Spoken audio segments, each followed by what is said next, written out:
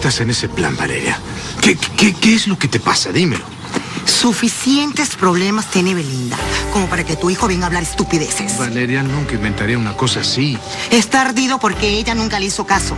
Eso lo dice ella para justificarse contigo. ¿No te das cuenta que te está... ¿Vas a seguir creyendo en Beto? Aunque sepas que nunca te dijo la verdad. Después de las cosas que ha hecho siempre, ¿tú todavía eres capaz de creerle?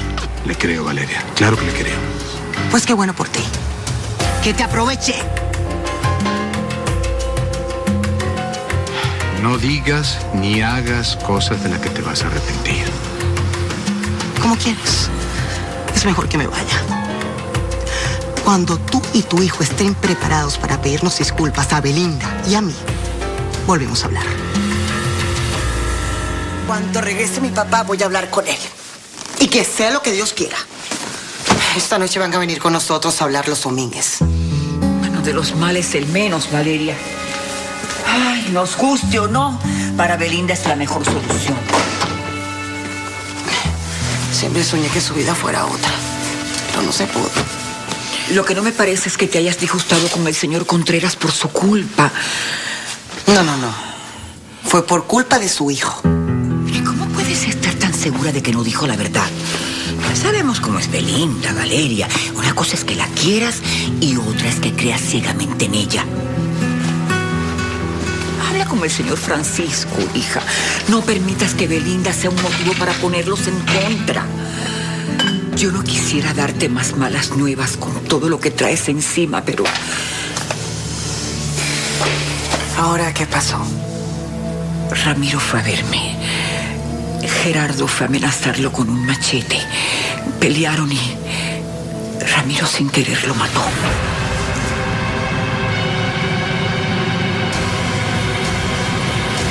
Supuesto que Ramiro no debe decir nada. Que Dios me perdone. Pero Gerardo recibió un castigo más que merecido. Sí, lo mismo pienso yo. Pero cuando encuentren el auto de Gerardo se van a poner a investigar. Mañana veo cómo resolver ese problema, Nana. ¿Vas a decírselo a Lulú? No sé. Por mucho que despotrique contra Gerardo, no deja de ser su hermano y, y va a tener que afectarle. Siento que la cabeza me estalla, Nana. Es una cosa sobre otra, sobre otra, sobre otra. Voy a terminar volviéndome loca. ¿Por qué fuiste a buscar a Alejandro? Tú me habías dicho que no le Sí, ibas... sí, sí, sí, perdóname. Es que estaba muy nerviosa y no quería esperar. Belinda, el hecho es que hoy en la noche vienen a hablar con mi papá. Ay, no. A- ahora sí tengo miedo. Valeria me va a matar. No, no, no, nada de eso. Que grite lo que quiera. Pero ni tú ni yo vamos a asustarnos. ¿De acuerdo? Sí. Valeria, ¿por qué haces todo esto por mí? La verdad es que, pues sí, reconozco que no me lo merezco. Te quiero más que nada en el mundo. ¿Cuándo vas a entenderlo? Todo va a estar bien. Cuando llegue mi papá hablo con él. Deja todo en mis manos, ¿sí? Papá, por favor, no quiero hablar ni de Pablo ni de Francisco.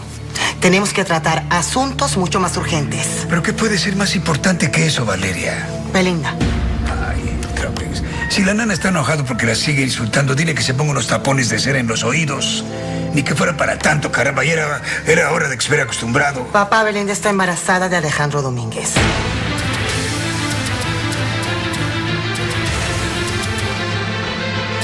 Carlos y doña Zoraida van a venir esta noche a hablar con nosotros. Alex está dispuesto a casarse y... Eso no borra lo que Belinda hizo. Debió darse a respetar. Papá, lo que pasó, pasó. Nos guste o no. Hay cosas que no se gustan, se heredan. Hijo de tigre pintita. Por más que intenté hacer a Belinda diferente a ti, resultó tener las mismas mañas. Insúltame todo lo que quieras. Pero el hecho es que... Resultó ser una cualquiera igual que tú.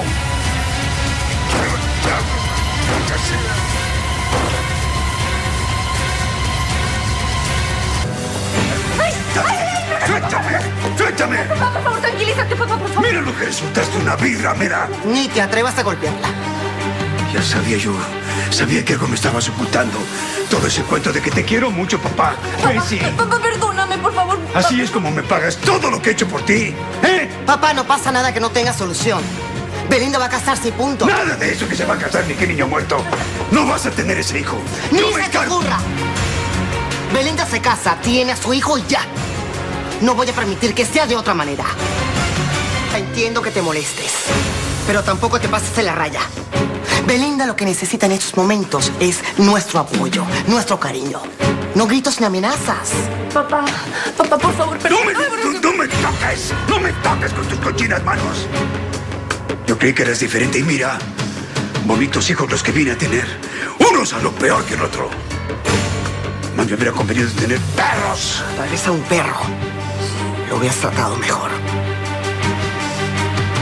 Te vas a casar y te vas a largar de esta casa cuanto antes. Para mí, desde hoy dejaste de existir. Papá, por favor, no me digas eso, por Es favor. más, agarra tus triques y hoy mismo te largas con, con Zoraida y con Carlos. Si están tan dispuestos a salvar a su hijito de una vez que se hagan cargo de ti. ¡Fuera de esta casa! ¡Fuera! Belinda va a salir de esta casa el día de su boda, vestida de blanco. Ni un minuto antes. Vestida de blanco. No seas ridícula. Va a casarse como Dios manda. Y tú vas a entregarla en el altar. Antes muerto. Yo no voy a andar siguiéndoles el juego. Entrégala. Tú. Pídele a Pablo que te haga el favor.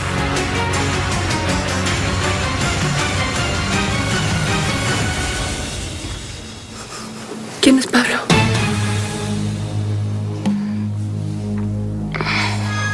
Nadie. No, no le hagas caso. Cuando se le pase la rabieta, no va a tener más remedio que dar su brazo a torcer. No te preocupes. Pues si ya más da lo que yo piense. Eres el padre de Belinda. Y no sería bien visto que si se casaran tú no estuvieras presente en la boda. Tampoco va a ser bien visto una boda al vapor y con la novia embarazada. ¿Y quién dice algo? Nadie tiene por qué enterarse de esas cosas. Todo se sabe, Carlos. Ay, don Chema, usted ya no está en edad de instalarse en un berrinche, por favor. Eh, niños, ¿por qué no van a platicar afuera mientras terminamos esta conversación, eh? Yo ya dije todo lo que tenía que decir. Se quedan en su casa, si me disculpan. Me voy a recostar y a seguir con mi berrinche a solas. Por favor, quédate. Si te vas a hablar muy serio, papá, digo todo lo que haya que decir y no me importan las consecuencias. En el caso ser una gran boda. Es lo que se acostumbra. Y nuestras amistades no verían con buenos ojos que los muchachos se casaran por el civil. ¿Ustedes creen que a mí me importa lo que la gente diga? Después del ridículo que hiciste pasar con tu boda con Miguel. La mía era una boda arreglada. No compares. Y la de Alejandro y Belinda, ¿no? Ellos se quieren, Chema. Yo sé que son jóvenes, pero... Tú y yo también nos casamos muy jóvenes, Tortolito. Y yo no tengo ninguna queja. Nos seguimos adorando, ¿verdad que sí, mi amor? Si me disculpan un momento.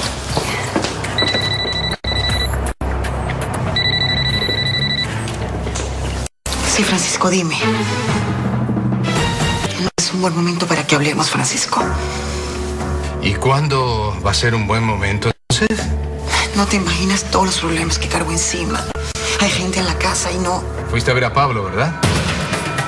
Ya sé que te reencontraste con él. Valeria, me parece infantil que busques pretextos estúpidos como los de hoy en la tarde para pelearte conmigo. Si lo que quieres es quedarte con él, pues quédatelo. Es todo tuyo.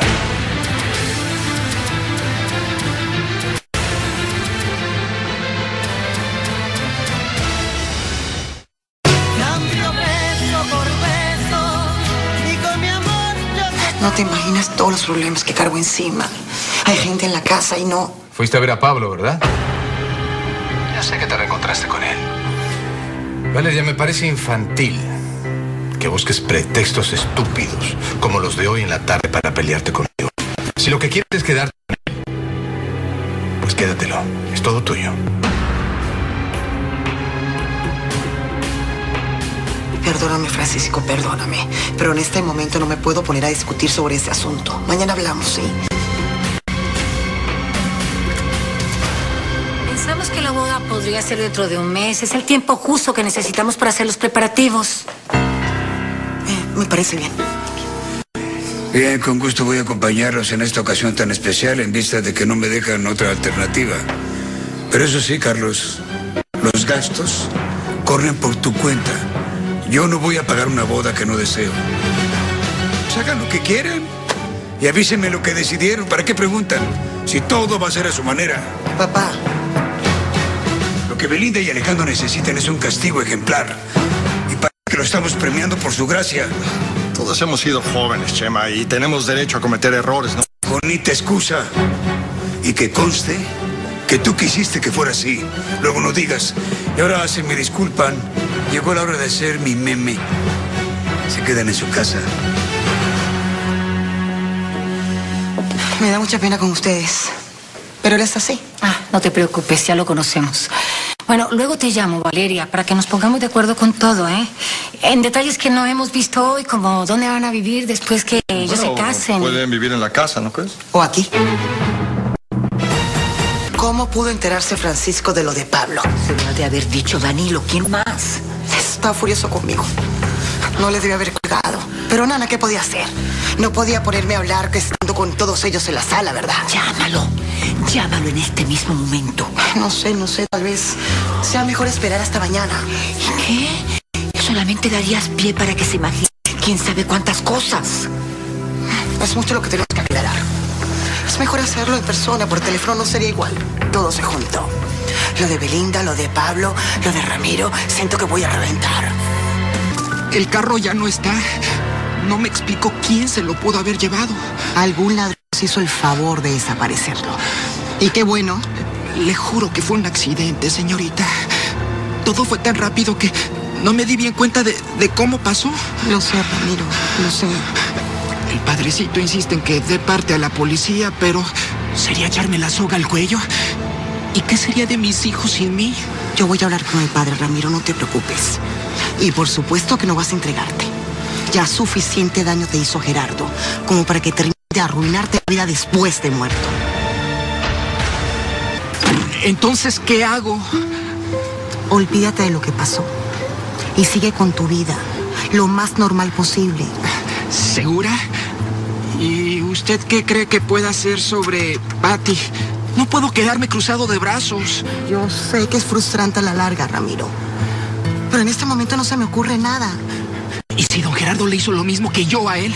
Primero Dios, no. Ella nunca hubiera dejado solos a los niños. Primero muerta, antes que dejarlos abandonados. Eso es lo que creemos. Todavía no estamos seguros. A veces la gente se va sin dar explicaciones. Y mucho tiempo después aparecen, como si nada. Estuve pensando y tienen razón. Ramiro no puede entregarse. Gerardo encontró lo que buscaba. Padre, es mejor dejar las cosas como están. Si aparece el carro de Gerardo, van a pensar que quienes lo tomaron... Acusarían a gente inocente de un crimen que no cometieron. Eso sí que cambiaría las cosas. ¿Y usted cree que van a dar con ellos? No, padre. Es más, me atrevería a decir que ya desmantelaron el carro. Si es que se lo robaron. Y no podemos estar seguros de nada. Lulú y Pilar tienen derecho a saber la verdad. Tienes que hablar con ellas, Valeria. Les suplico que no haga ningún comentario con nadie. Pilar está muy delicada de salud, padre. Si se llega a enterar lo de Gerardo, podría darle un infarto otra vez. Sí, tienes razón. Pero se le va a hacer muy raro que Gerardo no vuelva a dar la cara. Voy a hablar más tarde con Olgo a ver qué piensa. Ay, padre, en estos días lo vengo a buscar para comentarle tantas cosas que han pasado. Usted ni siquiera se imagina. ¿Siguen los problemas con Chema? Siguen los problemas por todos lados. Belinda está embarazada de Alejandro Domínguez. Se van a casar dentro de un mes. Y luego apareció el padre de Belinda, Pablo. No estaba muerto, padre, como yo creía. Yo no puedo más con tanta tensión, padre. Si puedo ayudarte en algo, hija. Está bien, padre, no se preocupe. Luego vengo con más calma para platicarle. Tengo que resolver unos problemas que tengo pendientes. Para variar, mi vida otra vez ha convertido en un auténtico desastre.